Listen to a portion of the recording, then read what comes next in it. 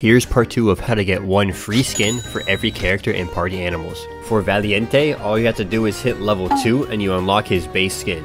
Morse has no skins, unfortunately, but if you go to your Sure Egg, the next legendary skin you get is guaranteed to be that Viking Morse skin. To achieve the Golden Sparky skin, you have to get the achievement Who's Laughing Now, which is be the only one who is not knocked out when the picture is being taken at the end of the game. Just like Morse, Tuskar the Walrus has no skins you can get, but if you go to the Sure Egg, it's guaranteed the next legendary skin will be a Viking Tuskar if you want him. To get the Lava Kimono Hachi skin, you have to get the achievement Hot Dog, which to win a game without freezing in the Winter is Coming map. Garfet, the fat cat, only has 3 skins and none are free to get without spending cookies or Nemo bucks. My favorite is Boss Garfet, which costs around 12k cookies. Lou has no skins. I think Party Animals should have at least one easy skin for each character to unlock.